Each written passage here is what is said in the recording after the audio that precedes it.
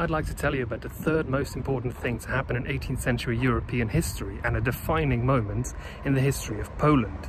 So obviously there's no better place to shoot this than a medium-sized city in eastern France, right?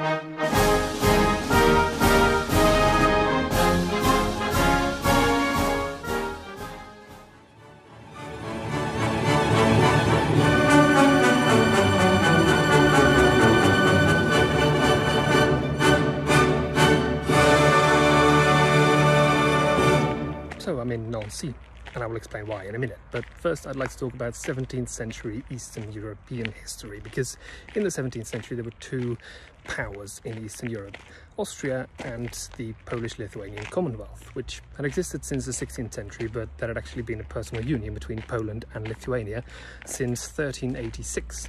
So this really had been around for quite a long time and it was really rather powerful. In fact, it managed to march on Moscow successfully in 1610 and hold the city for two years. So it is possible to march on Moscow and win. But the glory days of the Polish-Lithuanian Commonwealth were very much the early 17th century. Um, in the 1650s, they were severely weakened by invading Swedish forces, which managed to engulf the entire country. And at the beginning of the 18th century, they started to have other problems. You see, Poland-Lithuania had neighbours in Brandenburg, which later absorbed Prussia, and Russia. Now, Brandenburg had severely strengthened throughout the 17th century and really become quite a bit of a regional power by the early 18th century. And Russia, which had been easy prey for Polish-Lithuanian forces in the 17th century, had just undergone the major modernization program of Tsar Peter the Great, so they were no longer quite such an easy target either. And that is where France comes in. You see, if there's anything you need to know about this period in European history, it's that the House of Bourbon, centered in France, and the House of Habsburg, centered in Austria, really didn't like each other. In fact, this was the main reason why France fought on the Protestant side of the Thirty Years' War, despite being a staunchly Catholic country. By the early 18th century, there were two things that the Bourbons in France really wanted. They wanted to get a Bourbon on the throne of Spain, which they managed to do after the War of the Spanish Succession, and they really wanted a friendly state directly bordering Austria to threaten the Habsburgs. This led France to undertake a major influence campaign in the Polish-Lithuanian Commonwealth and that was quite useful for Poland-Lithuania as well because it was severely weakened at this point and it would have probably fallen prey to its neighbours but French protection was always there to make sure that Russia, Austria and Prussia didn't really invade Poland because they would be at war with France and France was the most powerful military in Europe at the time. But then King Augustus II of Poland-Lithuania died. Now, Poland-Lithuania had an elective monarchy at the time, which means that it wasn't simply a matter of the throne passing from father to son or mother to daughter, but rather whenever the king died, there would be an election among the nobles to find the next king. And obviously this was ripe for exploitation by other countries. Now, the three countries that I mentioned previously signed a secret treaty called the Treaty of the Three Black Eagles, which basically meant that whichever candidate France would propose for the next Polish king, they would oppose somebody else and all join together in opposition to France. France decided to back Stanislav Leszczynski, who had been king of Poland before under another Swedish occupation under Charles XII. Um, but had then been ousted and had been living in France ever since. So he was quite a pro French candidate.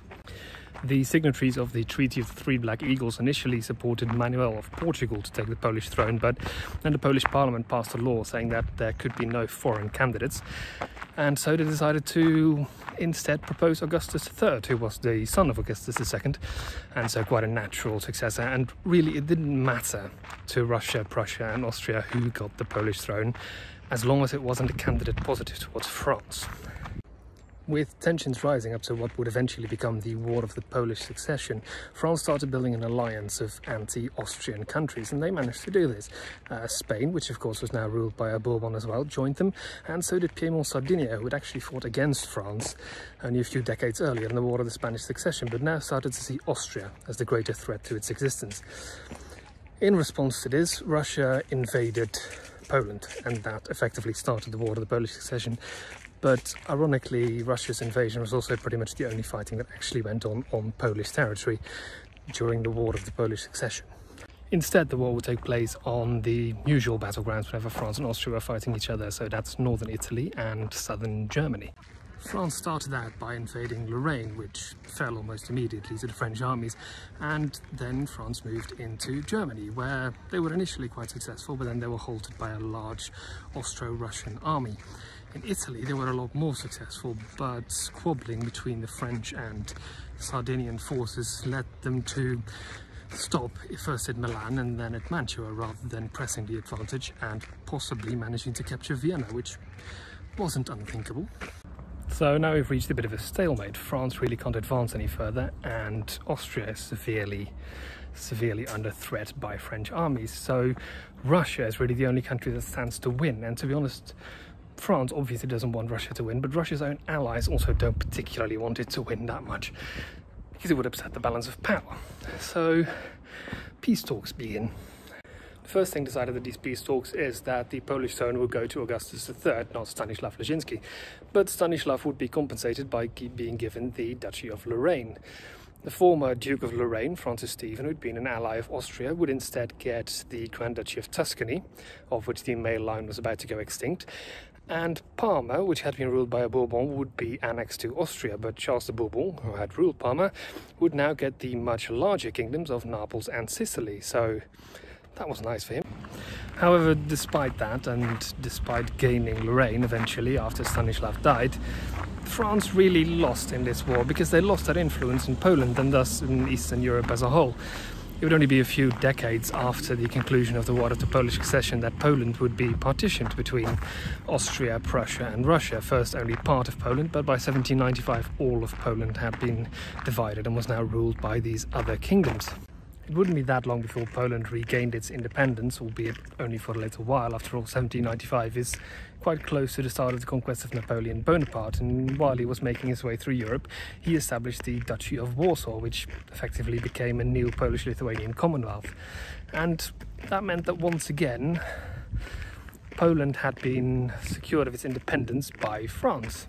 Stanislav had also been very popular in Poland, despite Augustus III eventually winning the war, so really pro-French sentiment was quite strong in Poland and this is probably why about 200 years later during the Second World War um, when the Polish people perceived the French as not having helped them enough after Poland was invaded by Nazi Germany they really felt that that was quite a betrayal.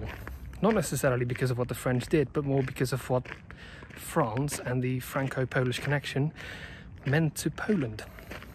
Speaking of German occupation, Nancy and all the rest of Alsace-Lorraine would of course fall in the German occupation from 1871 until 1918 and again during the Second World War. However, for all those decades of German occupation and the many, many more years that Nancy belonged to France, all of its most recognizable landmarks really date back to Stanislav Leszczynski, and references to him are all over this city. It really is quite incredible. If you liked this video, feel free to subscribe to Robert Explains, and if you hated it, feel equally free to spew vitriol at your leisure. Until next time.